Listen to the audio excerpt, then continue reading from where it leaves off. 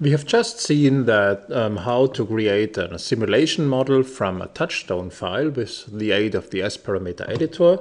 We will now show how we will sim how we simulate, how we can simulate with this simulation model.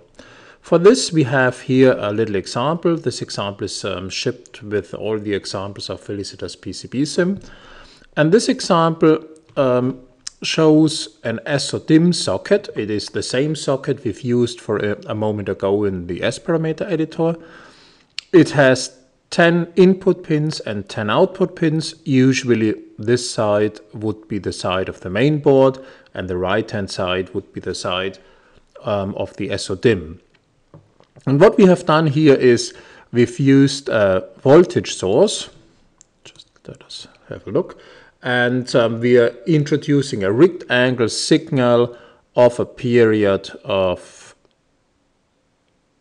oh, only 50 megahertz um, into the pin 2 here and we've terminated all other lines, all other pins with 50 ohms on the left hand and on the right hand side and we have a number of input probes and a number of output probes.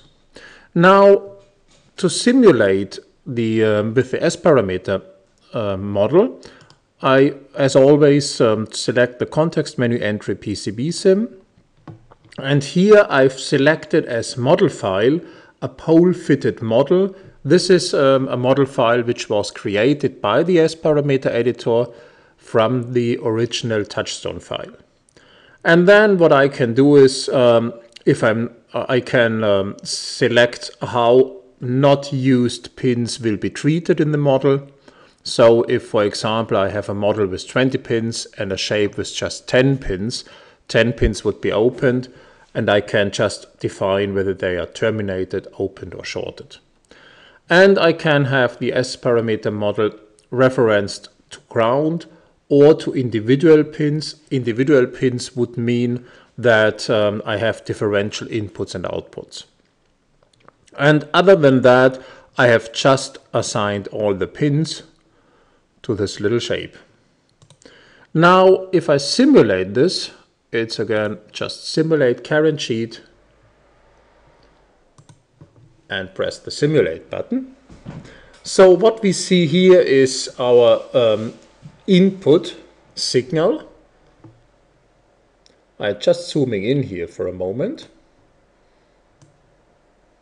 Here we go.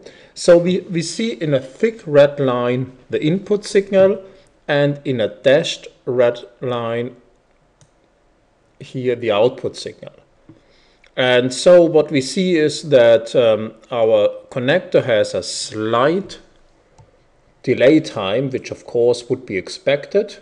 The delay time is in the order of magnitude of 100 picoseconds. So this is okay. But very interesting is the signal on the neighbor pins here. Um, so we have a near end crosstalk and we have also a far end crosstalk which um, reaches approximately 15 millivolts or 16 millivolts here if this is all correctly terminated.